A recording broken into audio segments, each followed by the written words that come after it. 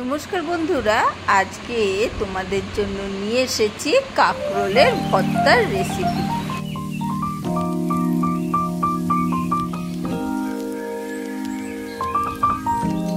ভাবছিলাম তোমাদের সাথে আজকে কি রেসিপি শেয়ার করব। তাই ভাবলাম কাঁকরোলের ভর্তার রেসিপিটাই শেয়ার করি কাঁকরোলগুলো পড়েছিল যথারীতি, নতুন নয়, দেখতেই পাচ্ছ গাগুলো এ হয়ে গেছে সেটাকেই ছাড়িয়ে পরিষ্কার করে দু আধখানা করে কেটে নিয়েছি। এটাকেই ভালো করে প্রেশার কুকারে দুটো থেকে, একটা থেকে দুটো সিটি দিয়ে দেবে, জল দিয়ে বসিয়ে দিয়ে এক থেকে দুটো সিটি দিলেই হয়ে যাবে সেদ্ধ। আর একটু ডুবো জল দিতে হবে, জলের পরিমাণটা অনেকে যারা জানো না মানে যারা নতুন অন্তত রান্না করছ তারা একটু ডুবে গেছে, এইরকম পরিমাণে একটু জল দেবে, তাহলেই হয়ে যাবে। আর এক থেকে দুটো সিটি দিতে বলেছি। আর এই দিকে নিয়েছি পেঁয়াজ।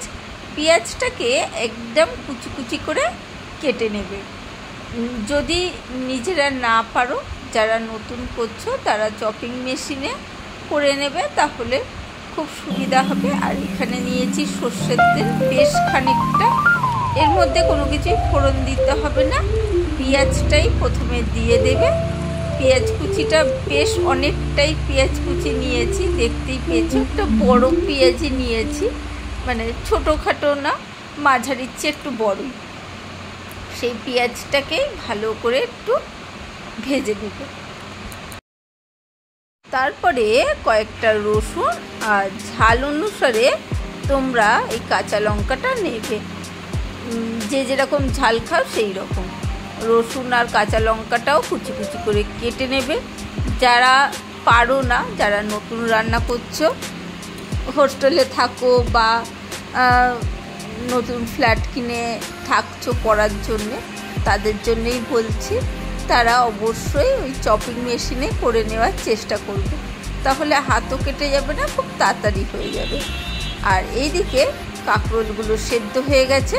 এই যে চামচের সাহায্যে মাঝখানে দানাগুলো এইভাবে খুলে বের করে নিচ্ছি। দেখতেই পাচ্ছ, খুব সহজেই কিন্তু উঠে আসবে।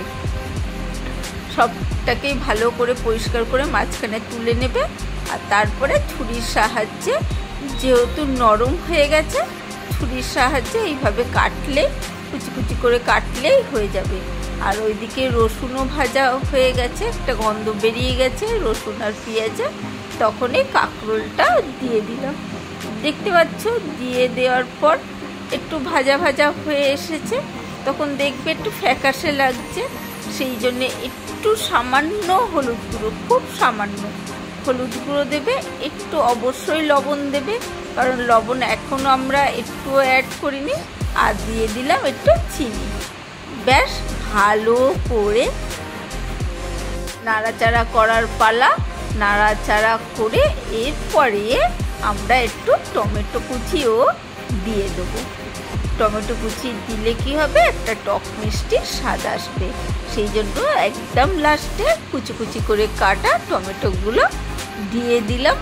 দিয়ে ভালো করে আবার নাড়াচাড়া করে এই ভাত্তা ফাত্তাগুলো একটা নাড়াচাড়া করতে করতেই বুঝতে পারবে, তেল টেলগুলো শুকিয়ে এসেছে বা তেলটা ছেড়ে এসেছে। তখন বা একটু খেয়ে টেস্ট করেও নিতে পারো। তারপরে নামিয়ে গরম গরম ভাতে এইভাবে দিয়ে খেয়ে নেবে।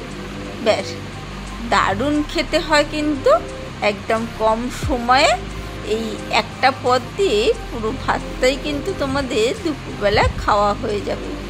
তাহলে তোমরা অবশ্যই ট্রাই করো আর ট্রাই করে বলো কেমন লাগল এই কাঁকরোল ভর্তার রেসিপি আজকের জন্য টাটা বাই বাই